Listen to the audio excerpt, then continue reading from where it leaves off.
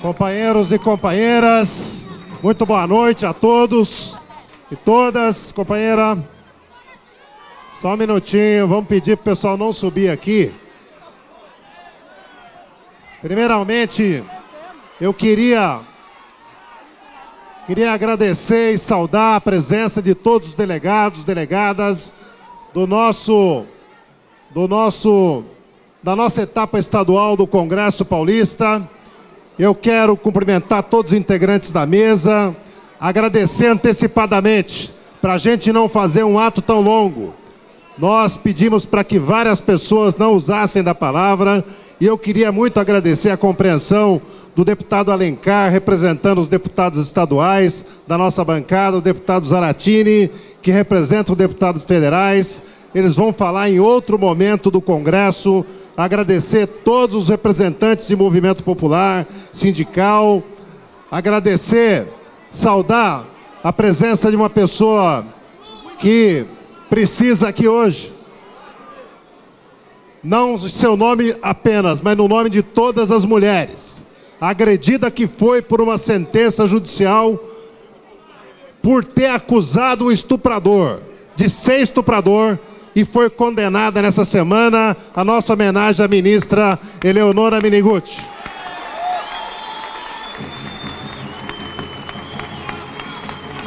A justiça brasileira é assim: condena a Eleonora Miniguti a pagar e deixa o ator, agressor, estuprador impune. Essa é a justiça brasileira que nós já conhecemos tão bem.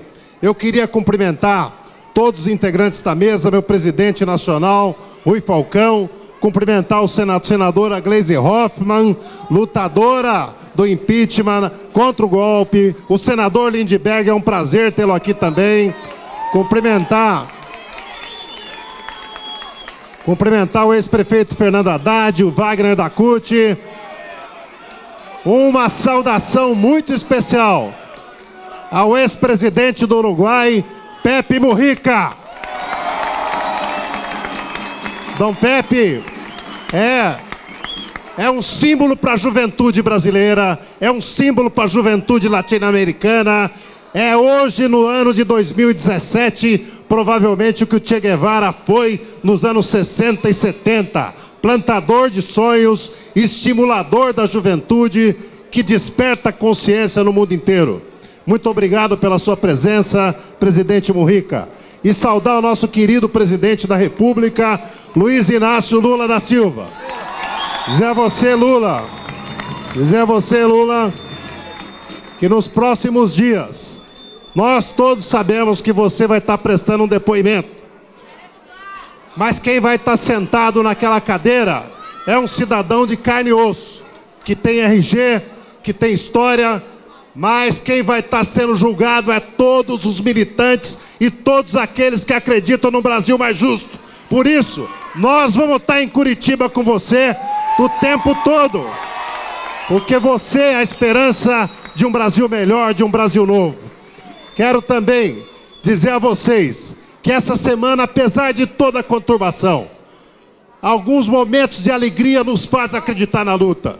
E eu quero mandar uma saudação para um companheiro que, não podendo estar aqui por limitação da justiça, está nos assistindo pela internet. Um abraço, companheiro José Dirceu de Oliveira e Silva. Eu espero.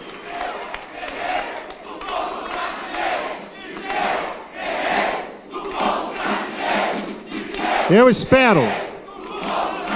Espero que em pouco tempo em pouco tempo, como disse o presidente nacional Rui Falcão, outros prisioneiros políticos, principalmente o Vacari, possa estar entre nós. Ele que comandou tantas assembleias da frente desse sindicato.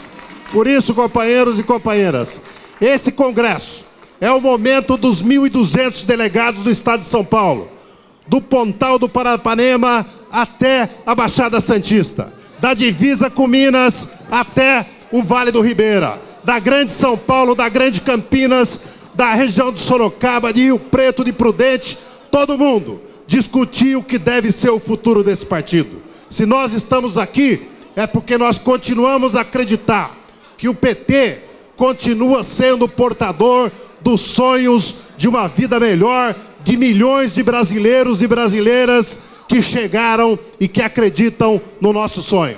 Por isso, companheiros e companheiras, desejo um bom congresso, o congresso a todos vocês. Participem com afinco do nosso grupo, dos grupos de trabalho e vamos fazer desse momento um momento de fortalecimento dessa ferramenta extraordinária de luta que é o Partido dos Trabalhadores.